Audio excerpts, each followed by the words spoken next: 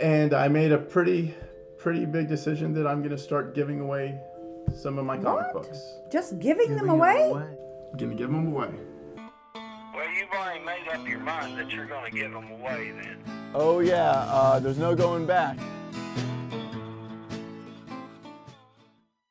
to feel empowered and as a woman to see things like that i think that's what a lot of those kids need need now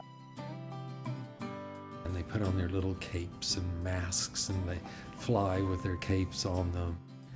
And then they can grow into those people who fight for justice.